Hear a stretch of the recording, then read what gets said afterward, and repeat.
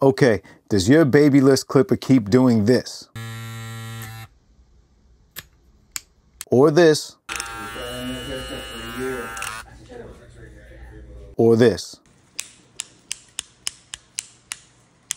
Well, whether you have the Lo Pro, the Boost FX, the Snap FX, the Pro FX, the FX1, if you're having the issue where your BaByliss clipper keeps shutting off randomly with a full charge and nothing seems to be wrong, I have the solution for you. So let's get right to it. So I had this issue happen in particular with my boost clippers and I'm gonna show you what it was.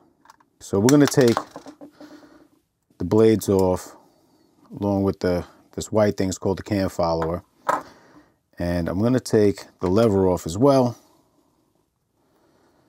And if you're following along, be careful when taking this off because there's a couple parts that can fall off. And we're just gonna slide the bracket out. Now what is happening? Now basically what's happening is this plastic part is rubbing against the motor and it's causing it to have friction, resistance, and I'm guessing it overheats and has a fail safe where it stops and shuts off. Now I'm going to recreate this problem real quick to show you. So I'm going to put this plastic comb right here and I'm to turn the motor on. And you see it shuts right off. And then it doesn't come back on because it probably has to cool down. So that is the issue. So how did I fix it? Well, what I did was I just put a flathead screwdriver in here. I gripped it like so. And then I just kind of bent it back a little bit. And then I had enough clearance in there to where the motor could spin freely. And then it doesn't shut off anymore on me. Because even after I took the blades off, it would still shut off when I had it like this. So another way you can fix it is you take a little X-Acto knife and run it in between. Cut off any plastic you need to cut off. Maybe you have a really thin nail file, you go in there and sand it. However you want to do it, you have to figure if you bend it back, you're probably weakening the metal. If you cut back some plastic, it's probably not that big of a deal, but it's obviously there for a reason. So you don't want to compromise the structure too much. So how does this happen? Well, this is the tension spring right here. So this could be above this little lip and pushing on the plastic if somehow it got misaligned.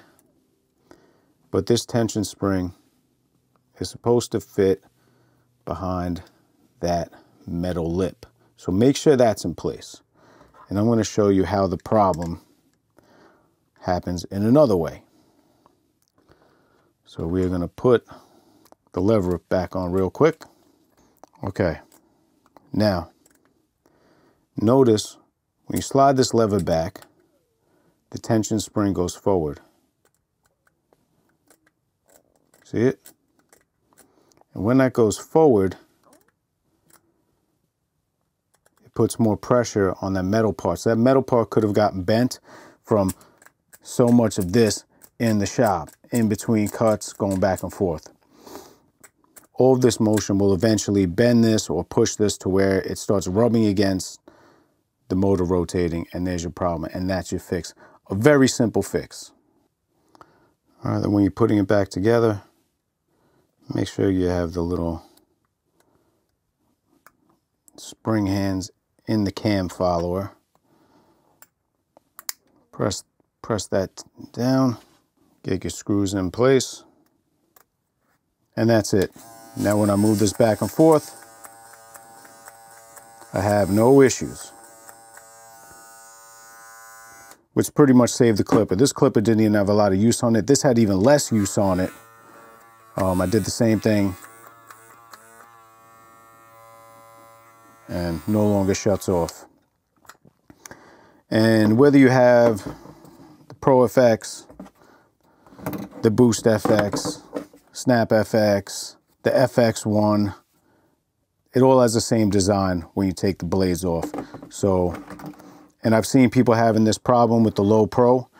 So whichever one you have, if you open it up and it looks the same, make sure nothing's rubbing against that rotary motor and you have to give it some clearance if it keeps shutting off. And uh, bit of a design flaw, I guess you could say. Babyliss should give that, uh, that motor a little more clearance. And if you had the same issue and it was a mystery to you and you couldn't fix it and this video helped out, definitely let me know because I was stuck on it for a little while until I had the time to really troubleshoot it, see if it was the battery, it wasn't the battery, and go step by step along the way until I finally figured it out. So if it helps you out, leave a comment and let me know. And until the next time.